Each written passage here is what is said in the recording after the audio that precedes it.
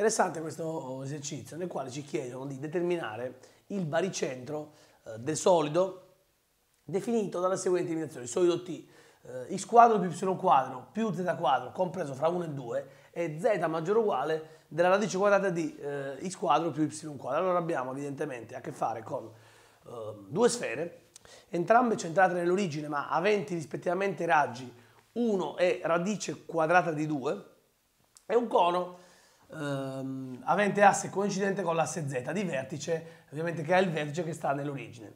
Ovviamente ehm, per chi conosce bene questi argomenti ehm, si, si, si, può tranquillamente accorgere del fatto che ehm, ci sono delle simmetrie importanti da ravvisare in questo caso, ma qualora uno diciamo, fosse alle prime armi, quindi volesse, non vedesse bene queste cose, si può tranquillamente andare a intersecare il nostro cono con le due, con le due sfere. In particolare si può andare a appunto intersecare la prima sfera x quadro più y quadro più z quadro uguale a 2 con eh, il nostro cono z uguale radice di x quadro più y quadro. Stesso discorso nel secondo caso. La sfera x quadro più y quadro più z quadro uguale a 1 con il cono z uguale radice quadrata di x quadro più y quadro. Allora abbiamo in entrambi i casi, sostituendo al posto di z radice di x quadro più y quadro, elevandolo al quadrato, otteniamo un intersezione fra due cerchi, entrambi di centro d'origine ma di raggi differenti, che sono il primo è, abbiamo un x quadro più y quadro più x quadro più y quadro uguale 2. Nel secondo caso abbiamo un x quadro più y, più y quadro.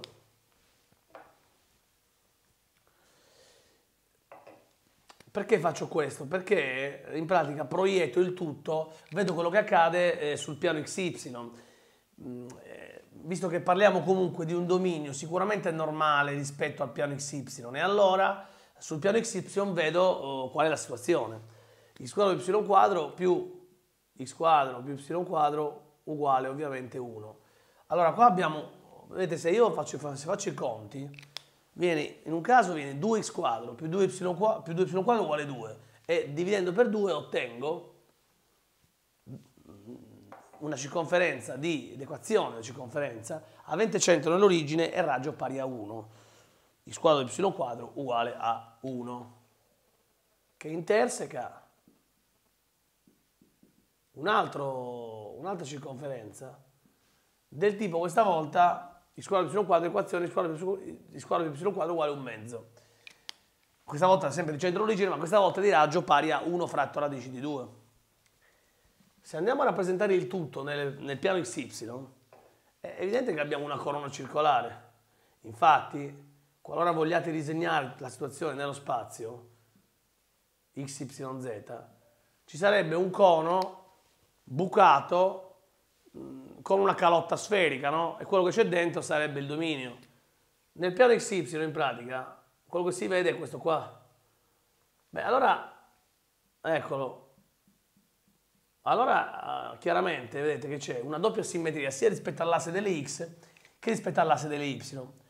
Questo cosa comporta? Comporta che visto che ci chiedono le coordinate del baricentro, che sono 3, x, y, z, beh, possiamo dire che l'ascissa e l'ordinata del baricentro sono sicuramente nulle.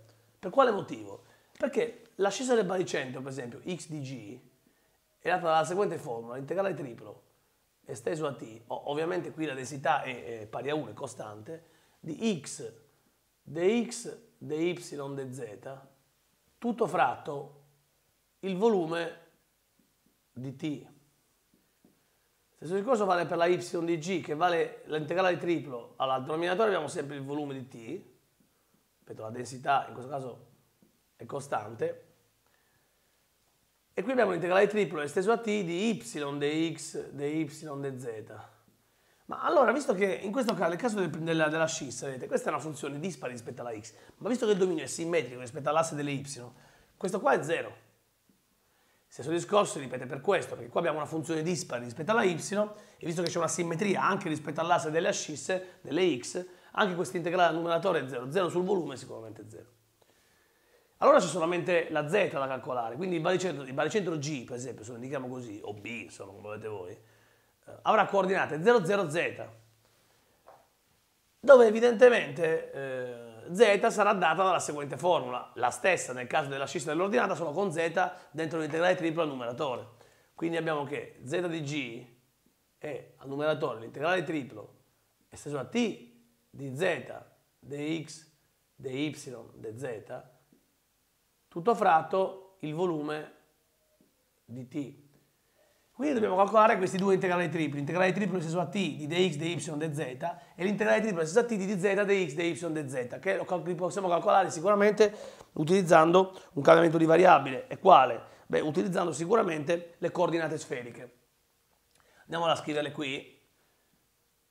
Lo ricordo, x uguale rho sen θ cos φ, y uguale rho sen θ sen φ e z uguale rho cos θ. Andiamo a sostituire.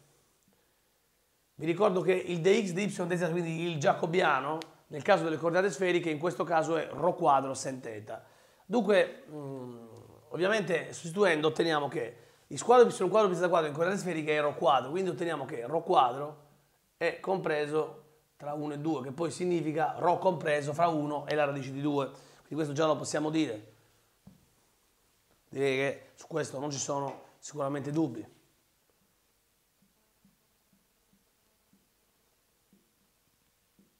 ρ compreso fra 1 e la radice quadrata di 2. Dopodiché ehm, a posto di eh, z ci mettiamo ρ cos θ maggiore o uguale Dunque vi ricordo che x quadro y quadro in coordinate sferiche, se avete guardato tanti esercizi sul passaggio a coordinate sferiche che abbiamo svolto sull'integrale tripli, è ρ quadro sen quadro θ. Infatti qua verrebbe ρ quadro sen quadro θ sen quadro φ più ρ quadro, eh, chiedo scusa, ρ quadro sen quadro θ cos quadro φ più ρ quadro sen quadro θ sen quadro φ, raccogliendo un ρ quadro sen quadro θ, ci avanza la somma fra sen quadro φ e cos quadro φ, che, è la prima relazione, che per la prima relazione fondamentale nella goniometria è ovviamente pari a 1. Quindi qua otteniamo, abbiamo un ρ quadro, sen quadro, θ. Φ ovviamente eh, non figura, è variante tra 0 e 2π greco. A questo punto abbiamo già trovato tra cosa varia ρ e tra cosa varia φ. Dobbiamo vedere tra cosa varia θ. Allora qua abbiamo che eh, questo diventa un, dobbiamo scrivere qua, ρ compreso sicuramente fra 1 e la radice di 2, φ compreso sicuramente tra 0 e 2π greco, qui avremo che radice di ρ quadro è ρ, ρ è per definizione positivo, raggio vettore, radice di sen quadrata sarebbe modulo di sen teta, ma visto che abbiamo considerato la simmetria, quindi possiamo riferirci comunque a un seno e un coseno di teta positivi, eh, visto che comunque c'è la simmetria, possiamo dire che cos teta è maggiore o uguale non del modulo di sen teta, ma di sen teta. E allora, come sappiamo in questo caso, mm, come si risolve questo? Beh, tenendo presente che eh, possiamo dividere per sedera perché se andate a considerare sono entrambi positivi, visto che stiamo considerando quel primo quadrante di quella uh, corona circolare che abbiamo rappresentato prima nel dominio, possiamo dire che θ è compreso pertanto tra 0 e π greco quarti. Credo che su questo non ci siano dubbi. La soluzione sarebbe θ compreso fra meno π greco quarti e π greco quarti, ma ovviamente, visto che siamo nel primo quadrante, θ compreso fra 0 e pi greco quarti. Però siamo nel primo quadrante perché eh, per la simmetria, eh, visto che c'è simmetria sia rispetto all'asse x che rispetto all'asse y, si può considerare solamente il primo quadrante di quel dominio eh, che abbiamo proiettato sul piano xy. Trovate le limitazioni, i valori entro cui varia ρ, entro cui varia θ, entro cui varia φ, possiamo subito calcolare, lo cancello a questo punto, l'integrale, l'integrale triplo che sta al numeratore. Quindi abbiamo che l'integrale triplo è esteso a t di z dx dy dz si può scrivere come l'integrale triplo esteso al dominio u nelle nuove coordinate ρ, θ e φ di eh, z è un ρ cos θ in coordinate sferiche che moltiplica un ρ quadro sen θ che è il nostro dx dy dz giacobiano del passaggio a coordinate sferiche eh, che moltiplica un d ρ dθ dφ. Questo è ancora uguale all'integrale sicuramente fra 0 e 2π greco di, di di dφ, applicando la decomposizione, che moltiplica l'integrale tra 0 e π greco quarti di un sen θ cos θ dθ, infine che moltiplica l'integrale fra 1 e la radice quadrata di 2 di ρ al cubo di ρ. Dunque si possono risolvere tutte e tre integrali mm, singolarmente, perché abbiamo eh, tutti integrali varianti fra costanti. E quindi possiamo dire che l'integrale fra 0 e 2π greco di dφ è un 2π greco. 2π greco che moltiplica. L'integrale tra 0 e π quarti di sen θ cos θ è un integrale immediato perché la derivata di sen θ è proprio il coseno di θ, quindi è un, un mezzo che moltiplica il seno di θ elevato al quadrato, che comprendiamo fra 0 e π greco quarti. A sua volta che moltiplica ancora, l'integrale di ρ cubo è un integrale immediato, è ρ alla n più 1 fatto n più 1, quindi è un ρ quarto quarti tutto fra 1 e la radice di 2. Allora applichiamo mm, in, in due volte, mm, applichiamo qui e qui, mm, quindi in due casi, il teorema fondamentale del calcolo integrale e avremo trovato il valore che c'è al numeratore. Quindi abbiamo il seno di 0 è 0, 0 al quadrato 0, 0 per un mezzo è 0, quindi c'è solamente la prima parte del teorema fondamentale del calcolo integrale qui. Il seno di piego quarti, ve lo ricordo, vale 1 fratto la radice di 2, che al quadrato è un mezzo. Quindi abbiamo un 2π greco, un mezzo per un mezzo è un quarto, che moltiplica, allora lì abbiamo un radice di 2 alla quarta è un, è un 4, quindi abbiamo un 4 quarti meno, detto una fondamentale del calcolo, un quarto. 4 quarti meno un quarto è 3 quarti. Otteniamo in definitiva un... Allora, il 2 col 4 qua si può semplificare. Abbiamo un π greco mezzi, che viene dal prodotto di questi due, che moltiplica un 3 quarti. 3 pi greco ottavi. 3 pi greco ottavi è il valore che abbiamo trovato relativamente al numeratore. Calcoliamo a questo punto il volume di t ripetendo gli stessi discorsi fatti nel calcolo del numeratore. Qui è ancora più semplice perché abbiamo un integrale triplo, il volume, ve lo ricordo, di questo solido è l'integrale triplo esteso a t di dx, dy, dz, quindi dobbiamo mettere qui questo è uguale all'integrale triplo esteso al nuovo dominio U in ρ, θ e φ, di ovviamente al posto di x, di y, di z, del vertice giacobiano, che lo ricordo è ρ quadro sen θ. De ρ, de θ, de φ.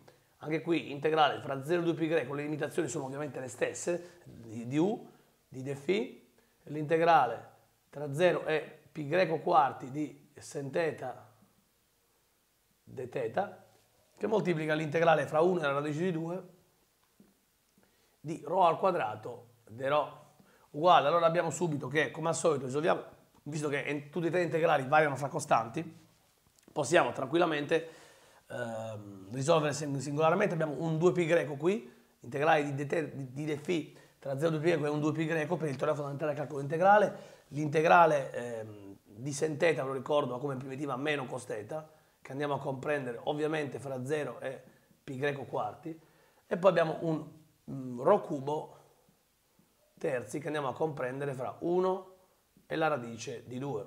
Facciamo i conti senza sbagliare se possibile.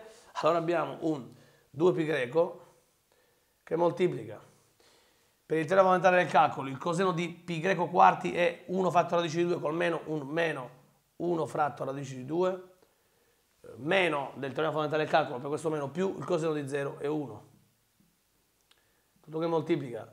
Radice di 2 al cubo è un 2 volte radice di 2, ovviamente terzi, meno 1 al cubo meno un terzo. Semplifichiamo sopra, andiamo a cancellare, visto che ormai la regola l'abbiamo scritta. Molto semplice, molto semplice questo esercizio, ricordatelo, ne faremo anche, anche altri quando parleremo dei soli di rotazione, ehm, ricordatevelo perché è un esercizio che spesso può capitare. Allora, ehm, qui possiamo fare un minimo comune multiplo, ma um, possiamo anche scrivere meno 1 fatto radice di 2 come radice di 2 su 2. Quindi questo si può scrivere come, anziché 1 fatto radice di 2 come radice di 2 su 2, mi permettete di scriverlo qui senza mm, saltare un passaggio, quindi senza andare oltre un passaggio. Quindi facciamo un minimo comune multiplo qua, abbiamo un 2π greco che moltiplica 2 sotto di minimo comune multiplo abbiamo un 2 meno radice di 2. Qui abbiamo un minimo comune multiplo che invece è 3, 2 radice di 2 meno 1. Questo qua tutti quanti prodotti. Allora abbiamo 2, questo 2 si semplifica, allora il pi greco rimane, poi possiamo andare con quel pi greco lì, moltiplichiamo, abbiamo sicuramente un pi greco terzi che moltiplica allora moltiplichiamo numeratore per numeratore. 2 per 2 radice di 2 è un 4 volte radice di 2. 2 per meno 1 è un meno 2. Meno per più meno, radice di 2 per 2 radice di 2 è un 4, perché abbiamo radice di 2 per radice di 2 che è 2 per 2 è 4. E poi abbiamo un meno radice di 2 per meno 1, meno per meno più, più radice di 2, fratto 1. Quindi il risultato del volume di T è un 4 radici di 2 più radice di 2 è un 5 volte radice di 2, meno 6, tutto fratto 3, tutto quanto pi greco. Questo è il volume.